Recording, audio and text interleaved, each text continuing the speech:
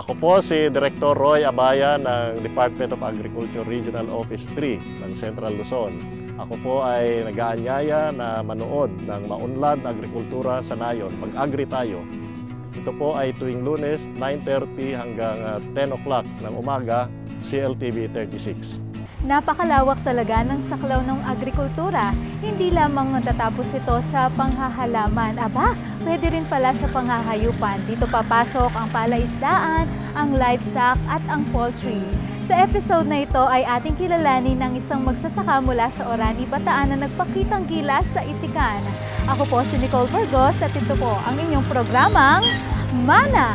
Maunlad na agrikultura sa nayon, mag-agri tayo!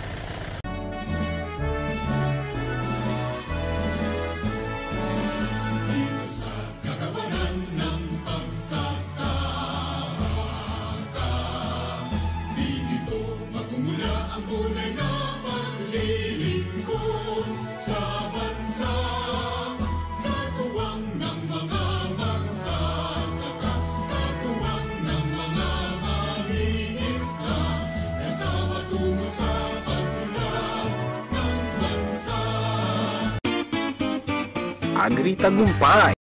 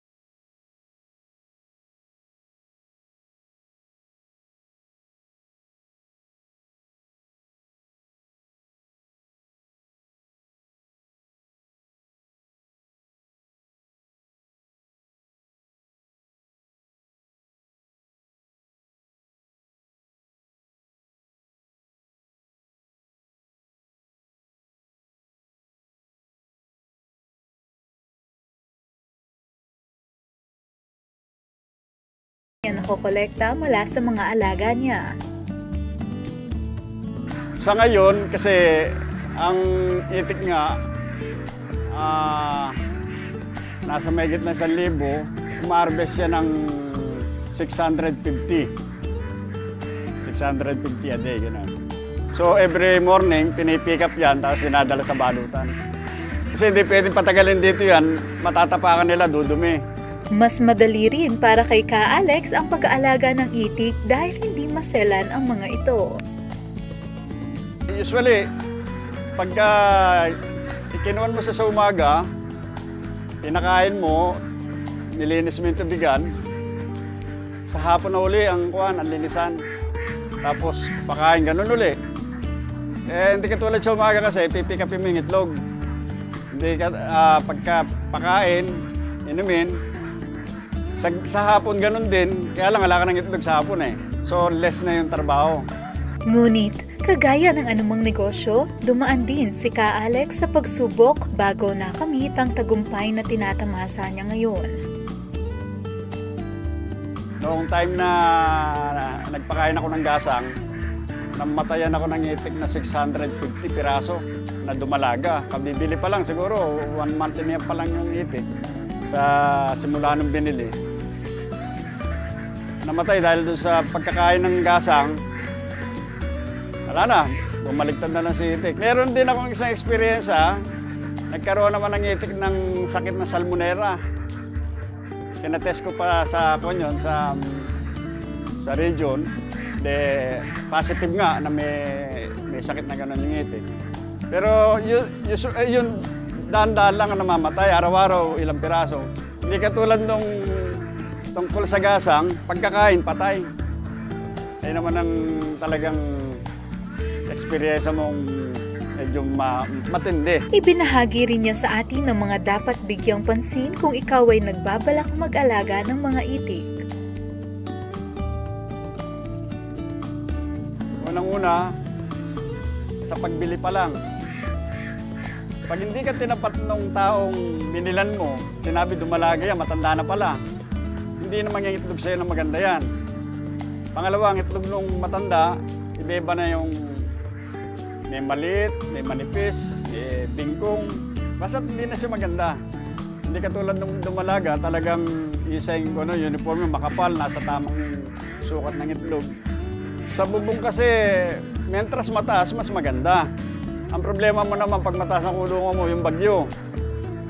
Siyempre, mentras tumataas yung height niyan, yung hangin, ah, delikado lang sa bagyo. Masaya na si Ka Alex sa kasalukuyang estado sa buhay. Dalawang unak anak ko na rin nayari. Isang ang ah, mining na galing sa UP Diliman. Saka itong HRM. ah, PWU naman, na, ah, galing naman sa Balanga. Yun, yun namang isa, BPSU. Ah, management naman. Graduating na rin. By June, graduate na siya. Kaya hindi na rin, hindi na rin masama. Nakapagpundar din ng sariling balutan si Ka Alex at nakabili ng mga lupait.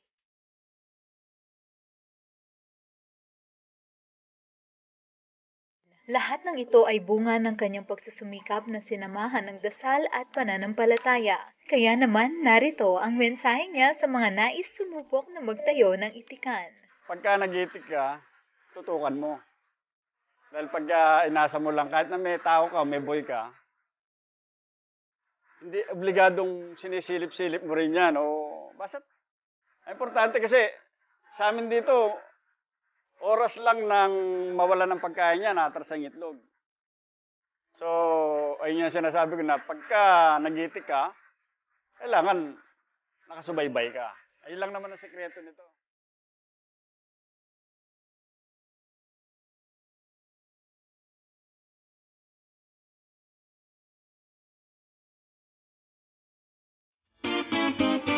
Agri Tagumpay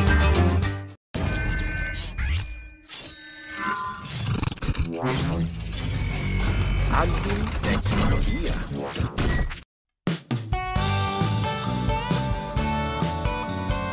Atin ngayong aalamin ang mga kaigihan ng paggamit ng azola at ang ginhawang hatid nito sa buhay ni Ka Alex. na nung araw daw, nagkaroon na ng project ang gobyerno na turuan ng mga magsasaka tungkol sa asola. Ito po kasi, para bang kusa na ng tumubo. Tapos, nung tumubo siya, ah ayun na nga ho, yung kumukulang kami sa kaalaman, kahit nasa luluwas ka ng Manila, pupunta ka sa National Bookstore, makabili ka lang ng pamphlet para may karagdagan ng konting ah, kaalaman. O doon na po, tuloy-tuloy na yun. Hanggang sa nagsusupply po ako sa Pigiri sa Balanga, sa Manukan sa Pampanga.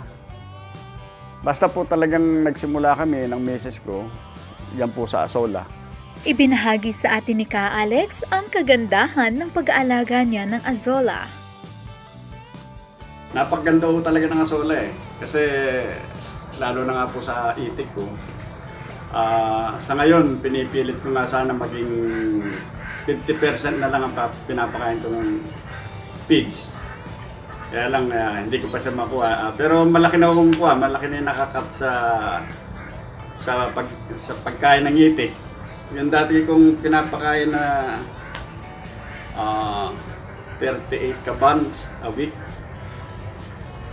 Ah, ngayon ko na lang eh, ah, 30. So, nakakon po ako ng 8 kabans per week ang natipid ko dahil sa sola. Maliban sa pagkain ng kanyang mga itik at isda, ginagamit rin niya ang azola bilang pataba sa kanyang palayan. Kumbaga sa abono eh, urea, nitrogen. Talaga, kaya talagang maganda, lalo-lalo na nga sa palay. Nai-apply ko na rin ako kasi yan, na last na harvest ko ng palay. Dating nagsasabog ako ng walong sakong abono. Nung mag uh, ako ng asola sa kayang ang natutunan ko rin na EM1, yung IMAS, ginagawa ko rin naman kasi yan. Uh, pinang-spray ko sa, sa alaman. So, ang nasabog ko lang na abono, parang isang sakot kalahati. Kasi talagang, uh, konse, talagang maganda sa alaman. Pangarap din ni Ka Alex na makagawa ng pelletized na azola nang sa gayon ay mas mapatagal pa ang paggamit niya dito. Kaya lang ang kagandahan kasi ng pelletizer, may stock ko yung asola. Pwede ko siyang ibudega ng ilang araw. Hindi katulad ng press, kailangan kasi yan, pagkakuha mo, pakain mo, tapos gano'n na naman uli, panay gano'n. Hindi katulad pag may naka-stock ka, lalo na nagbagyuan, kung muna kalutang lang ang asola kasi sa ibabaw ng tubig, pag bumaha, kasama siya ng, tubig, ng tubig na maagos. Kaya may, may ginagawa rin akong kwan ngayon, nilalagyan kong lambat sa ibabaw. Para kung lumaki yung tubig, bumaha, hindi siya sasama sa tubig na mawawala. Ano nga ba ang may papayo ni Ka Alex sa mga nais na mag-alaga rin ng azola? Ang asola po kasi kailangan daily ginagalaw. Or pagka yan ay napabayan ng ilang araw lang, kahit na yan ay maganda, kusao yan mamamatay pagka hindi ginagalaw. So kailangan araw-araw kung kinakailangan galawin para mag, yung mga tinatawag na similya niya eh kusawang bumuka. Kasi pag hindi nagalaw, sila-sila magsisikit-sikit dun sa lugar mamamatay na po yung pinaka parang pinaka yung matandang asola. So lahat yung madadamay na. Kaya kailangan uh, galawin para mispread yung uh, tinatawag na similya. Meron isa rin o kasing ko na uh, pwedeng gawin yung dumi ng baka na sa magiging uh, fertilizer ng asola. Hindi po kasi natin pwedeng itong bigyan ng abono o uh, tinatawag na urea dahil nitrogen na nga po siya. So, isa ko sigurong maganda, gawin na lang natin parang organic. Yan nga po yung tayo ng baka, ang pinaka-fertilizer na gagawin natin. Nagbigay din siya ng mga tips pagdating sa mga problemang maaaring maranasan sa pag-aalaga nito. Ang isang problema ng asola, ulitin ko nga uli, kailangan talaga yung yung matalas ang pakiramdam mo sa kanya na sabi nga, titingnan ko pala nga sa wala, alam ko na kung anong may depression o madalas ko sinasabi sa anak ko na, nakayan, two days lang, patay na yan. Eh siguro, nagtataka rin siya. After two days, ito na, totoo na yung sinabi ko na, amin konti, wala na, papatay na nga sa wala. Kasi kailangan, kailangan ng isang tao na o nang gustong magtanim ng asola, para rin halaman, para mga talong o sitaw, na pag nangailangan ng kalinga, ibigay mo. Patunay ang narating ni Ka Alex sa sipag na mayroon siya nang tanungin kung ano ang kanyang sekreto sa kanyang tagumpay.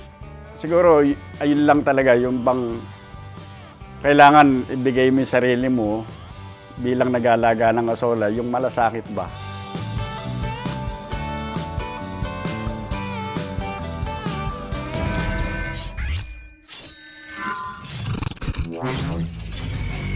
Agri-Teknolohiya Ating natunghayan ang tagumpay ni Ka Alex Diaz sa pag-iitik at pag-aalaga ng azola. Sa aming pagbabalik ay atin na mga alamin ang mandato ng Philippine Center for Post-Harvest Development and Mechanization of PhilMec dito sa inyong programang Mana, maunlad na agrikultura sa nayon, mag-agri tayo. Muling nagbabalik ang Mana, maunlad na agrikultura sa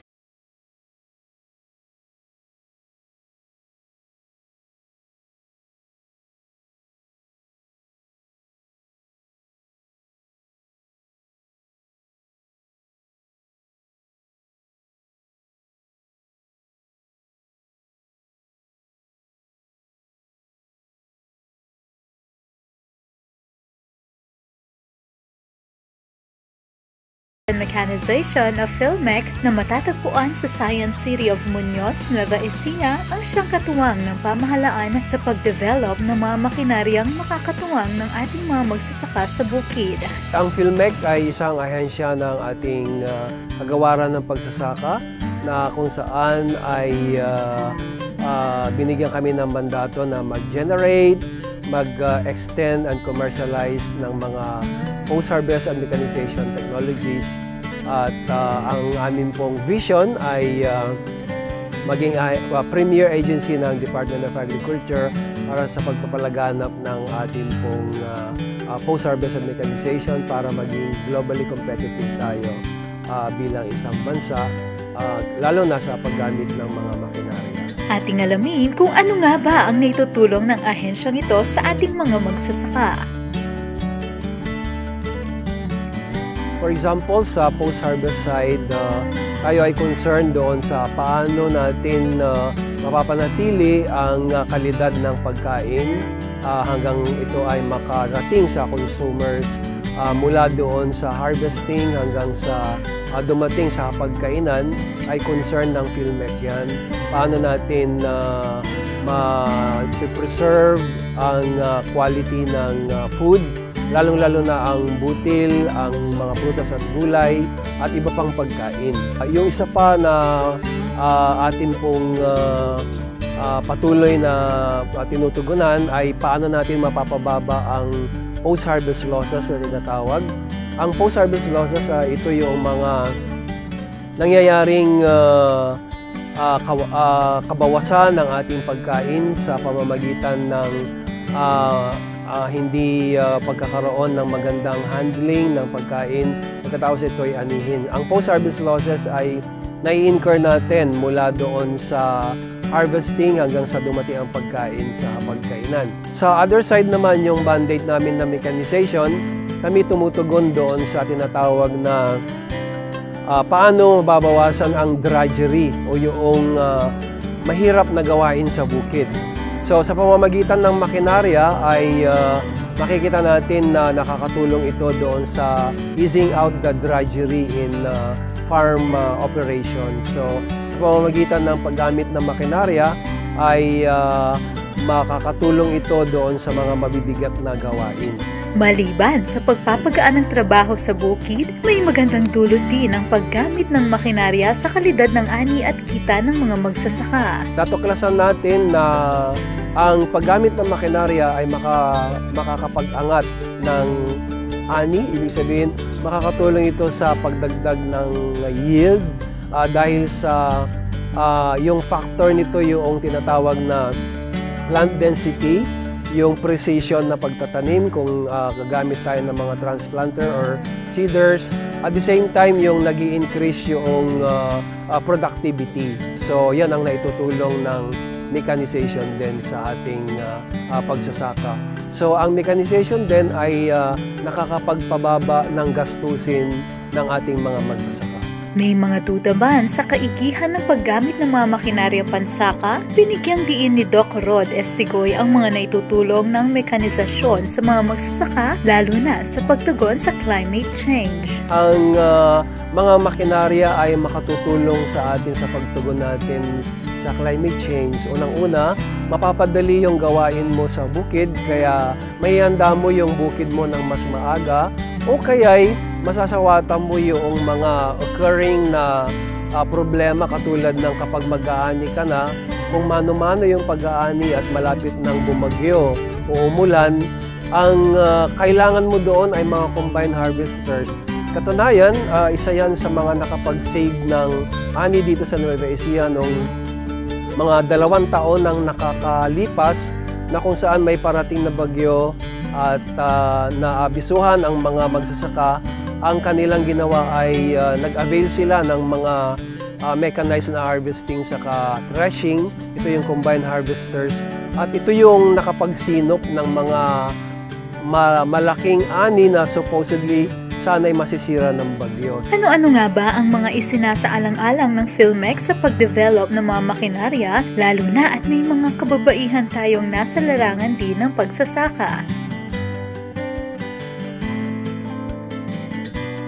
Katulad nun, ah, kapag sila ay ah, nag-design at nagde-develop ng isang makinarya, ang mga tanong lalong-lalo na nila ay una, magagamit ba ito ng hindi lamang mga lalaki kundi mga babae? Ito ba ay ah, makatutulong doon sa ah, pag ah, ah, pagkaroon ng mga pollution, either yan ay uh, noise pollution or air pollution, ini-input ito ng aming mga researchers. May mga pamamaraan na rin sila kung paano maiiwasan na makapaminsala sa ating kapaligiran ang mga tinatawag nating agricultural waste. Yung uh, isa pa na amin pong mandate ay yung gawin na mga kapakipakinabang na mga produkto ang mga agricultural waste. So, imbes sana na ito ay maka, maka uh, patuloy na uh, makabigay ng problema sa ating environment, pero ang PhilMec ay uh, nag, uh, nag, nag uh, nagtumutuklas ng mga bagong uh, mga produkto katulad ng uh, pectin mula doon sa uh, waste ng uh, uh, mango dried uh, dried mango sa mga processing centers yung kanyang balat ay pwede palang panggalingan ng pectin na isang napaka-importanting industrial product para sa cosmetic industry, pharmaceutical industry, saka food industry. At the same time, mayroon din kaming mga uh, proyekto na po pwedeng i-briquette ang mga ang mga agricultural waste. At the same time, pwede rin natin ito pakinabangan na uh, feeds or pwede for biogas production. Samantala, naniniwala si Doc Rod na mas napadali ang pagtuklas ng mga makinarya ngayon dahil sa tinatawag nating agri-innovation. Noong unang panahon na kami nagre-research at nagde-develop ng mga technologies, ay inaabot kami ng matagal na panahon, mga tatlo hanggang limang taon, para makabuo kami ng isang teknolohiya. So, uh, with that, ay uh, sa matagal na proseso na yon ay nakaisip kami ng uh, ng pamunuan ng PhilMec kung paano mapapadali ang pagsaliksik at pagde-develop ng mga technologies. At tinawag namin itong agri-innovation. Ang agri-innovation ay isang approach at uh, ini-employ nito yung mga iba't ibang mga proven na pamamaraan na o strategies ng pagre-research. Ibinahagi rin ni Doc Rod kung paano sinisiguro ng PhilMec na makakarating ang mga teknolohiya at makinaryang dinedevelop nila sa mga dapat na nakikinabang sa mga ito. Meron kami mga pamamaraan kung paano makarating ang uh, mga teknolohiya, lalong-lalo na doon sa mga gagamit nito. Kung ito ay isang hardware o isang makinarya pumupunta yung aming disenyo sa manufacturing sector. Binibigyan namin sila ng lisensya, uh, licensing agreement, para sila ay makapag-produce ng aming mga disenyo na na-develop sa PhilMec. Kung ito naman ay isang package of technology o knowledge product at uh, improved practices, kunwari, ito ay nililimbang namin sa mga publication o mga libro at uh, ito naman yung ipinapalaganap namin sa mga iba't ibang mga uh, audience. At kung ito ay isang uh, informasyon na uh, yung tinatawag naming scientific na klase ng uh, R&D output ay uh, nililimbag din namin yan sa mga journals, mga scientific journals na ang audience naman nito ay yung scientific and academic community. Ginagamit din namin ang iba't ibang klase ng media katulad ng TV, radyo, uh, ah, ICT, mga social media para maiparating natin ang mga research results natin dito sa PhilMec sa mga iba't ibang klase ng audiences. Sinagot rin ni Doc Rod ang issue ng labor displacement ng dahil sa paggamit ng mga makinarya sa bukid.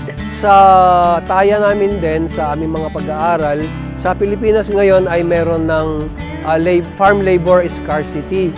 So, uh, napapanahon din yung, yung meron tayong timing ng mechanization na tinatawag at napapanahon na rin na uh, tayo mag-introduce ng mga makinarya dahil sa mga major food producing areas ay may scarcity na ng labor. Uh, katunayan, kapag uh, sabay-sabay ang taniman sa Nueva Ecija, wala ka ng makukuhang mga nagtatanim ng palay at maging sagapasan. So, uh, uh, totoo na may, may uh, madidisplace na labor kapag nag-introduce ng machines.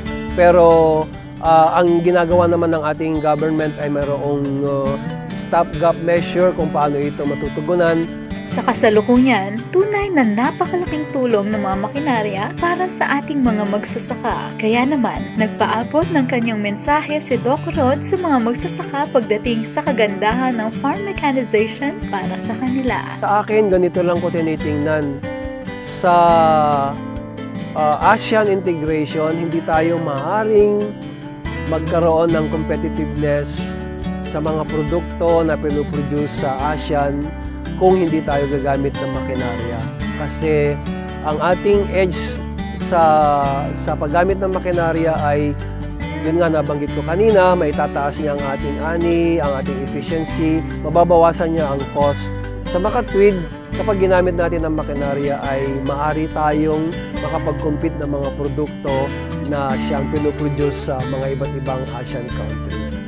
So, uh, wag tayong matakot na gumamit ng makinarya at may malaking tulong ang Department of Agriculture ngayon sa mga irrigators association, sa mga grupo na registered, sa mga kooperatiba na makaka-avail sila ng mga makinaryang ito sa pamamagitan ng uh, ayuda ng government sa Department of Agriculture.